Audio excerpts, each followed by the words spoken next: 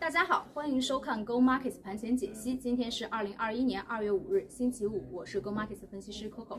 首先，我们来回顾一下昨天晚上美国市场的表现。因美国出勤失业金数据向好，eBay 等企业财报好于预期，三大美国股指超涨超约百分之一，纳指和标普均创下新高，但六大科技股半数下跌。另外，美国财长耶伦表示，将在近期严厉审查金融市场狂热的表现，以保证投资者的利益。同时，短线交易的投资者也逐渐把目光转移到其他个股上，像上个月遭到投资者热捧的呃短线股 GME 等，呃也在周三吐出涨幅短暂反弹后啊重返跌势。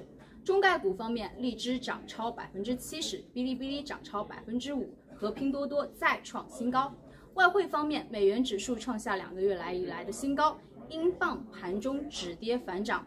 第二加密货币以太坊也创下新高，狗狗币创下啊涨幅百分之五十。大宗商品市场方面，黄金创下四个月以来最大的跌幅，啊首次两个月以来跌破一千八百美金，目前报价一千七百九十三美元。白银也突出了目前所有的涨幅，目前报二十六点三美金。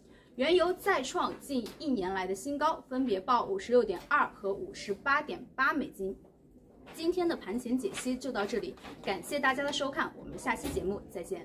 Markets 在线交易首选券商。